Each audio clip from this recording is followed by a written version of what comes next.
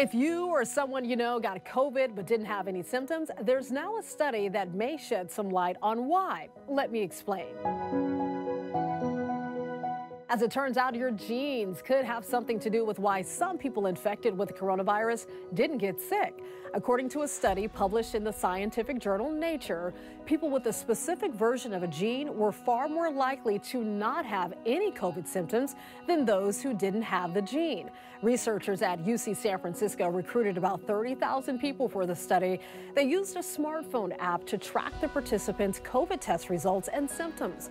The genes we're talking about are known as the human leukocyte antigen, or HLA.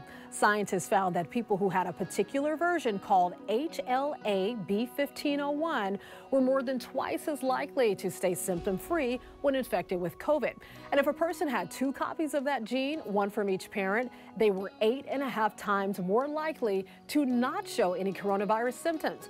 Just to verify the results they were seeing, researchers reanalyzed data from a British study and analyzed data from other UC San Francisco scientists. They were able to replicate their results. Scientists say their data suggests that people with this special gene somehow developed the tools to better protect themselves against COVID after previous bouts with the common cold and other illnesses. These findings do fall in line with smaller studies that suggested genetics play a role in asymptomatic COVID infections.